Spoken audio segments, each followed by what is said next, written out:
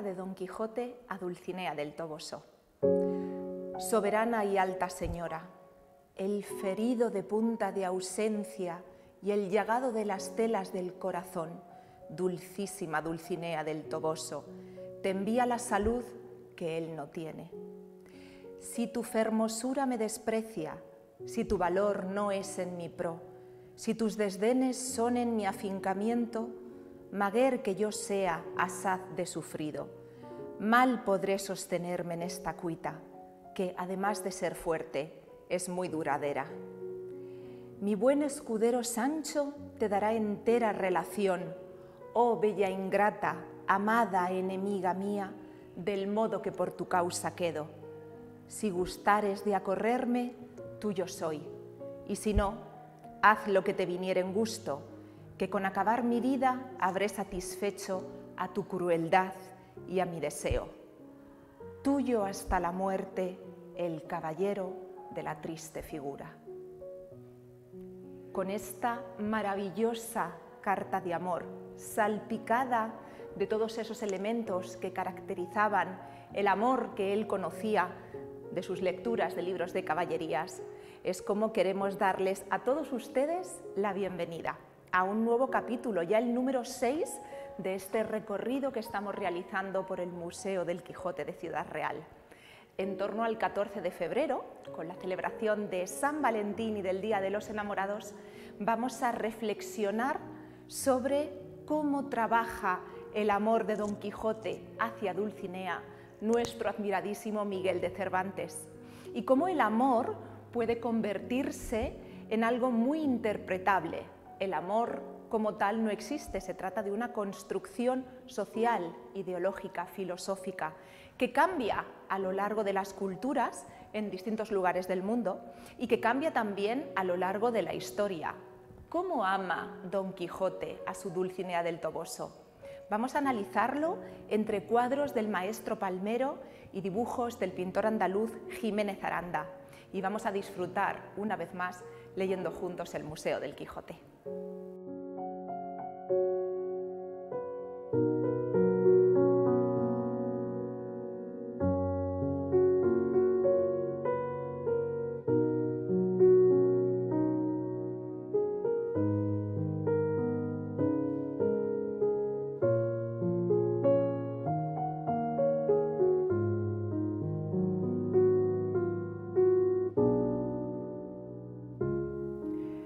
Través de sus lecturas, Alonso Quijano ha ido conociendo y adquiriendo todos los parámetros o todas las ideas, mejor dicho, los ideales de las damas que merecen ser amadas, según los libros de caballería que él consumía. No debemos olvidar que Alonso Quijano está absolutamente obsesionado, es fanático de unas lecturas que están retratando una realidad literaria, pero también social de siglos antes a lo que forma parte de su día a día. De ahí que resulte a veces tan cómico, otras veces tan ridículo, porque se mueve por parámetros morales, ideales, literarios, filosóficos de hace 400 años. Para que nosotros, lectores actuales, podamos ubicarnos, quizás tenemos que recurrir al cine y pensemos todos en las adaptaciones que se han hecho eh, en películas sobre, por ejemplo, eh, la mesa redonda del rey Arturo o estos caballeros. Pensemos en la relación entre Lanzarote y la reina Ginebra, quizás más conocida por todos nosotros y que refleja muy bien este amor que Don Quijote va a reproducir aquí. Primero porque el amor que Don Quijote muestra por Dulcinea es un amor heredero de lo que conocemos como amor cortés. El amor cortés, como término, nace en la Provenza, en la Edad Media, en torno al siglo XI y se extiende durante los siglos XII, XIII, XIV. Coincide con un periodo en el que en la Provenza francesa hay una cierta estabilidad eh, bélica, hay un cierto momento de paz que permite el florecimiento de una nobleza, una primera aristocracia que tiene el tiempo de dedicarlo no tanto a las armas y más a las letras. En este momento va desarrollándose esta nueva idea filosófica, moral, esta nueva idea amatoria, en la que el amado y la amada tienen una relación muy peculiar que poco tiene que ver con nuestra idea actual del amor, la pareja incluso el matrimonio. El amor cortés se sustenta en varias cosas. La primera la idealización de la amada. La amada recoge una serie de virtudes físicas y morales que el caballero admira en ella. La admira tanto que simplemente por el hecho de amarla, esto le da una espiritualidad y una grandeza moral y emocional al caballero. Es decir, el caballero se purifica, se engrandece, se enaltece su amor y su alma simplemente precisamente por amar a una dama que es merecedora de tal sentimiento. Por otro lado, es un amor tremendamente platónico, porque la dama se muestra siempre desdeñosa, rechazando cualquier acercamiento del caballero que es inferior a ella. Y este caballero es inferior a la dama, a la que considera una princesa, una señora, porque se establece entre ellos una relación feudal, si podríamos llamarlo de alguna manera, o acercarnos a este término, una relación de vasallaje, en el que ella se convierte en la gran señora y él en el vasallo, en el siervo rendido ante ella. Por eso decimos que es una relación amorosa un tanto peculiar. Primero, no es real, es un amor siempre platónico en el que el caballero intenta llegar a hacerse merecedor de los favores de la dama. La dama está en una posición superior sobre él, como esta señora feudal, y él en posición de vasallaje, adorándola a ella.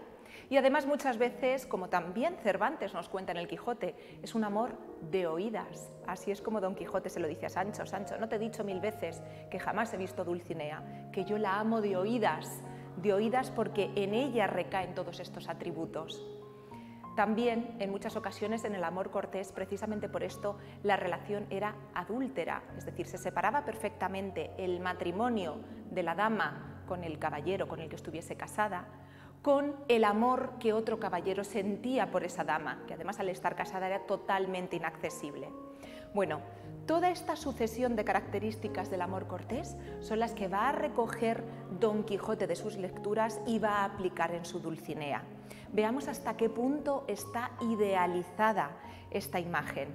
Y veamos también cómo tenemos esta relación de vasallaje de Don Quijote rendido ante ella. En un momento determinado, Cervantes nos dice lo siguiente.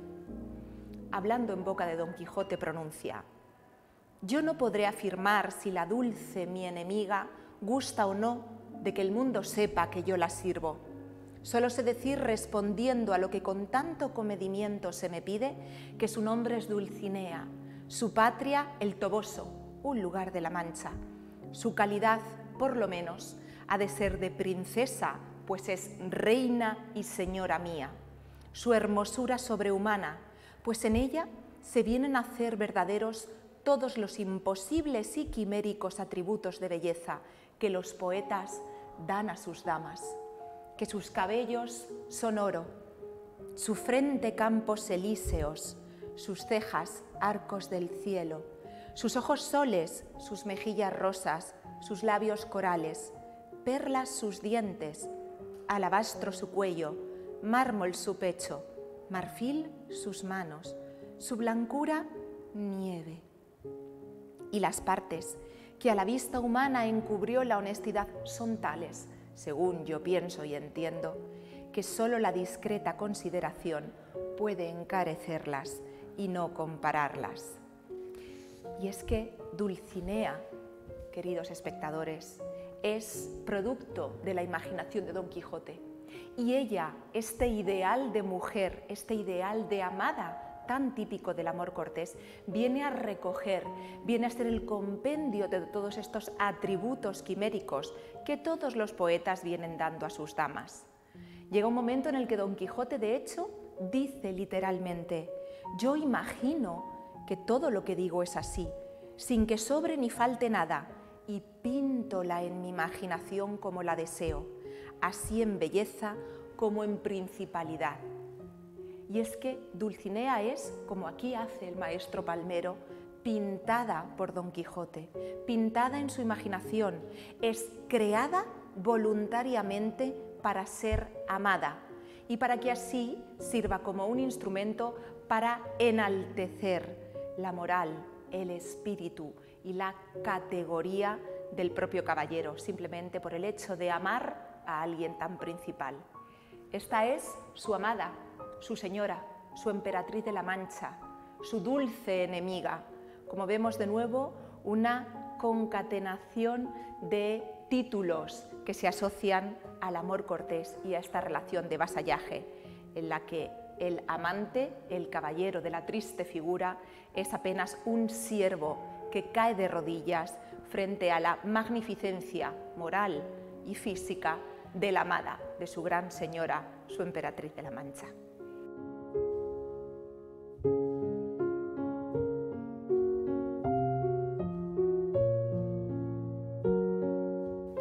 Pues bien, si una de las características del amor cortés es que el caballero adora a su amada, y ojo a este verbo, adora, y la tiene como alta soberana y señora mía, como emperatriz, como aquella a la que se somete y se humilla, dada su alta calidad, llega un momento en el que esto roza límites casi heréticos, porque la amada no solamente va a ser la señora feudal, la alta princesa, sino que va a ser casi un trasunto de la divinidad.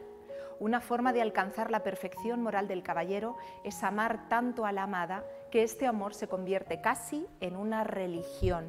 Y esto es muy importante e incluso motivo de debate en una de las conversaciones que Don Quijote tiene con uno de los miles de personajes secundarios que aparecen en la novela de Cervantes. Y es que hablando con un caminante tiene lugar este episodio que ahora leo.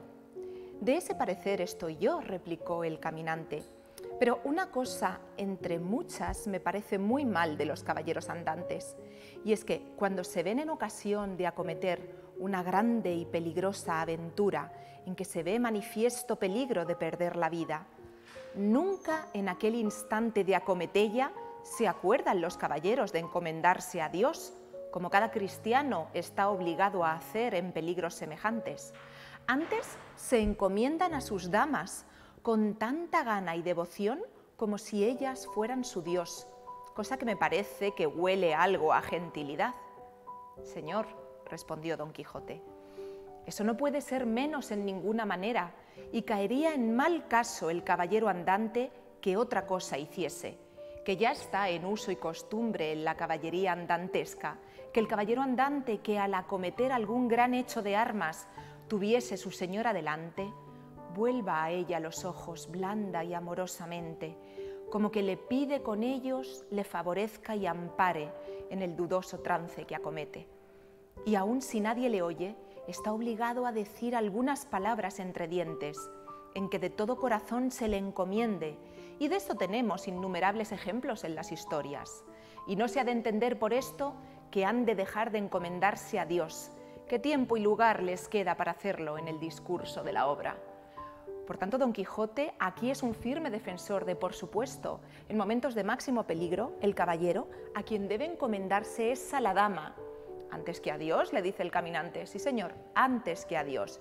Ya habrá otro momento de acercarse a Dios, pero en el trance del peligro, en el riesgo de vida o muerte, es a la dama a quien debe, fíjense, rezar de alguna manera, murmurar, aun si nadie le oye, está obligado a decir algunas palabras entre dientes. Por si acaso esta relación casi religiosa de amar a la dama no estuviese clara, tenemos aquí dos maravillosos dibujos del pintor andaluz Jiménez Aranda. Vamos a irlos comentando porque tienen un capítulo que es a la vez profundo y divertido en esta combinación y este balance magistral entre humor y filosofía que solo Cervantes sabe hacer. Y vamos a comenzar con el primero de estos dibujos para entender un poco la historia de la que estamos hablando. En la primera parte, capítulo 4, nos encontramos con esta escena, un encuentro muy particular entre Don Quijote y unos comerciantes. Veamos lo que nos dice Cervantes. Y habiendo andado como dos millas, descubrió don Quijote un grande tropel de gente, que como después se supo, eran unos mercaderes toledanos que iban a comprar seda a Murcia. Eran seis y venían con sus quitasoles, con otros cuatro criados a caballo y tres mozos de mulas a pie.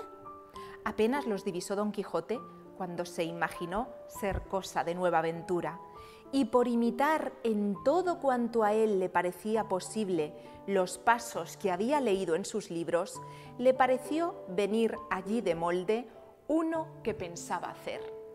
Es importante esta introducción que nos hace Cervantes porque lo que nos dice es que Don Quijote tiene en su mente, tiene en su imaginación muchísimas aventuras que debe realizar como buen caballero andante.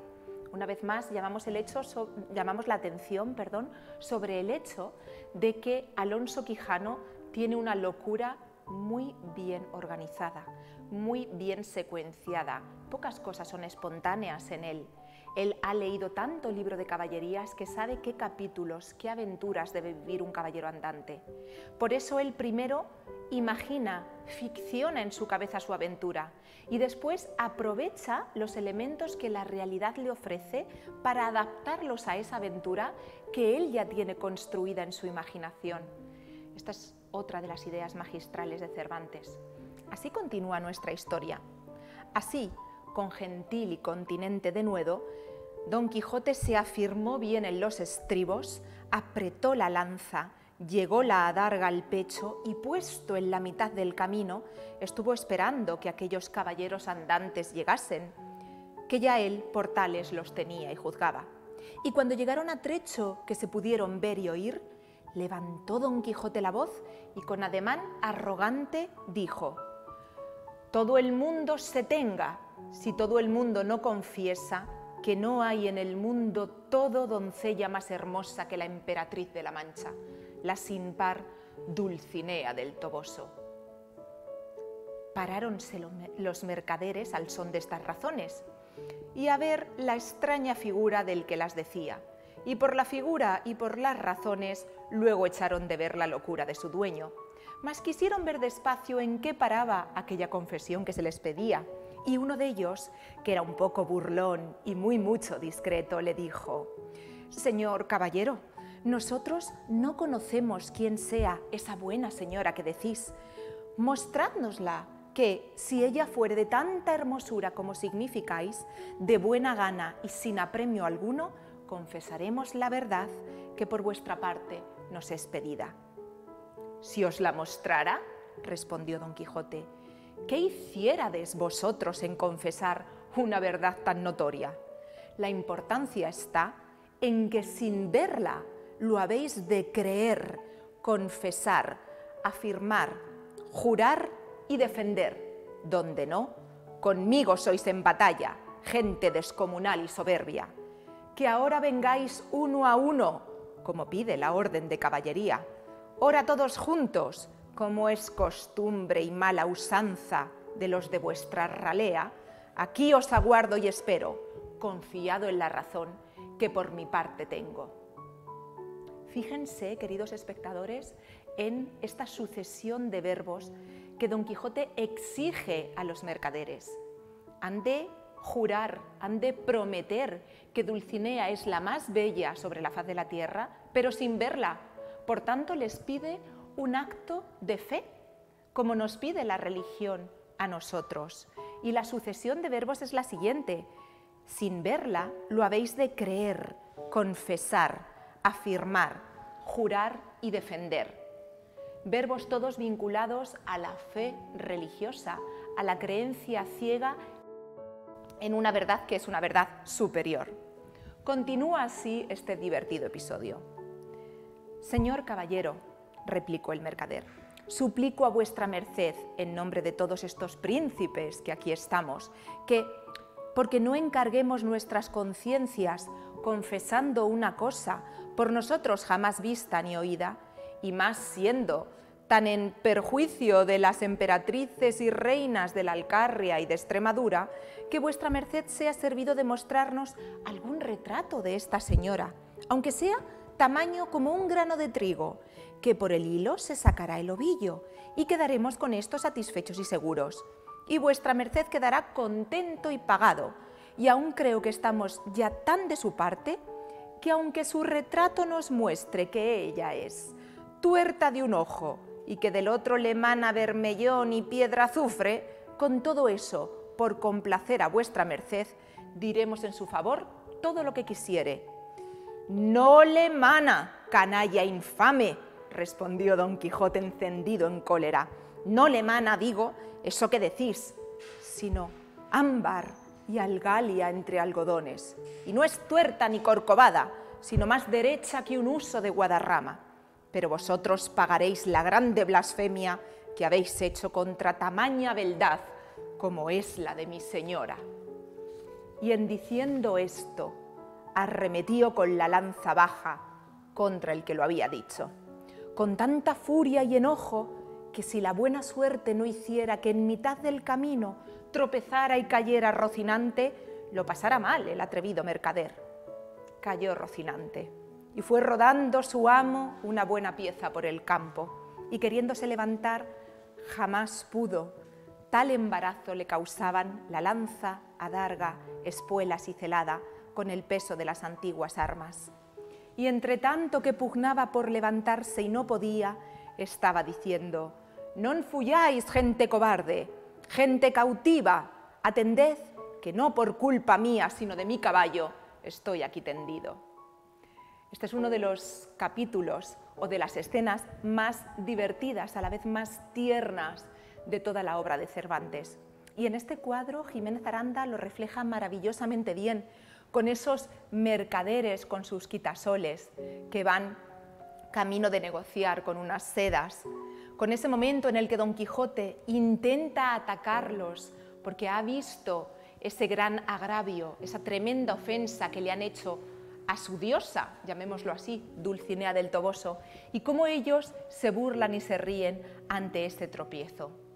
Si avanzamos al cuadro, al dibujo que tengo al otro lado, podemos ver este desenlace tan cómico, tan tierno, a la vez un poco trágico, en el que vemos a Don Quijote tirado en el suelo, Rocinante caído a unos metros, y cómo los mercaderes continúan su camino dejando atrás al pobre de Alonso Quijano con su locura.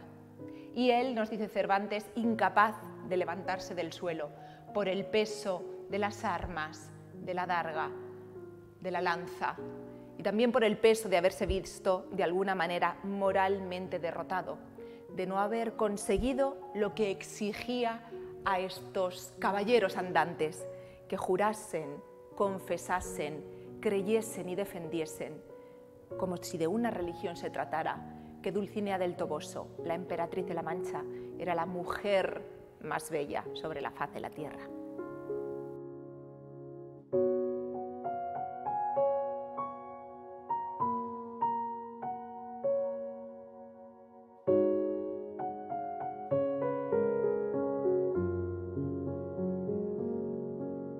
Pues bien, en este punto despedimos ya el sexto capítulo de nuestro recorrido por el Museo del Quijote, en el que hemos reflexionado sobre la ruta del amor cortés, sobre cómo la amada se convierte a veces en esta señora feudal ante la que se postra el amante, el caballero andante como un vasallo, sobre cómo a veces el amor se convierte en una religión y la amada se equipara casi con Dios como objeto de adoración. Todo esto para reflexionar sobre cómo el amor no siempre se ha movido en los mismos parámetros morales, filosóficos, religiosos, sino cómo ha ido avanzando como una construcción social y humana que es al fin y al cabo. Y este es el amor que nos representa Cervantes, pero solamente Cervantes nos representa este amor en el caso de Don Quijote y Dulcinea. Hay muchos otros ejemplos de relaciones amorosas o emocionales en Don Quijote de la Mancha, porque también hay muchos tipos de mujeres en Don Quijote y este es el tema que trataremos en nuestro próximo capítulo, en el capítulo número 7, donde desde este lugar en el que nos encontramos, desde la Biblioteca Cervantina del Museo del Quijote, aprenderemos un poco más sobre las mujeres de la vida de Cervantes, aquellas que sirvieron como inspiración para muchos de los personajes femeninos que aparecen en Don Quijote de la Mancha. Si siguen disfrutando con nuestros programas, si tienen más ganas de conocer esta joya museística de la ciudad y de conocer la joya literaria que es la obra de Cervantes, les invitamos a nuestro capítulo número 7 para que en marzo continúen con nosotros conociendo y leyendo juntos el Museo del Quijote.